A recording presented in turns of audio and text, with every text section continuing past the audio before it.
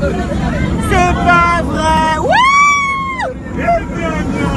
Et gna gna, eh, gna gna, eh, gna gna, triple gna gna. On n'est même pas encore descendu de l'avion que voilà l'accueil qui nous est réservé.